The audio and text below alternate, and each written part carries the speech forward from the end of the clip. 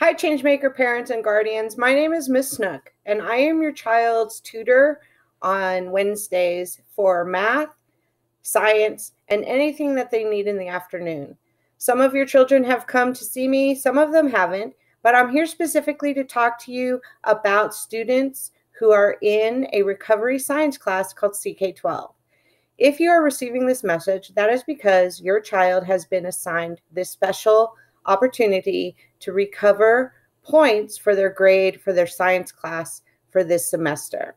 Mr. Ruddick, the science teacher, and I discussed a plan to help your child get their science credit for the first semester.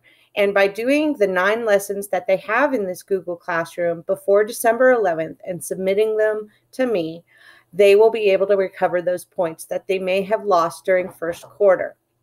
So I wanted to give you a brief overview about what your child is supposed to be doing. Up until this point, we are four weeks into quarter two, and there are nine assignments that your child has to do.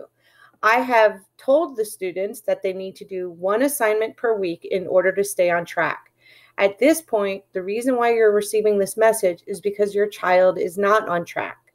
So I encourage you to sit with your child and have them show you this Google Classroom so you can see exactly what I'm about to show you. When they click on their stream, they have their Classwork tab. And when they go into their Classwork tab, there are two sections. One is the content and practice, and one is the written assignments. Your child has to do three things. One, they have to click on the link to get to the lesson. I have the link opened on my end.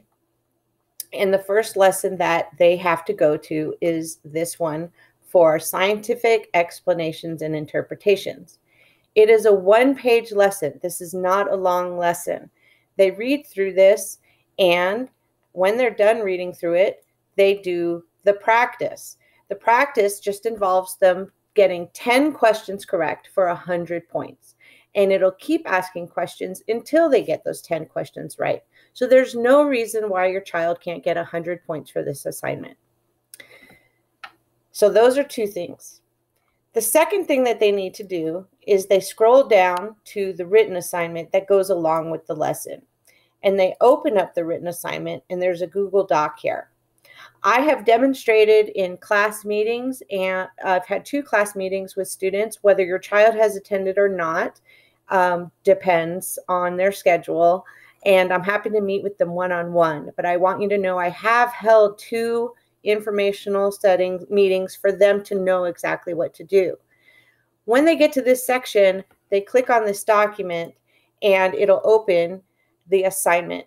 And the assignment runs hand in hand with what they have to do on CK12. It's basically their notes, but they're answering questions.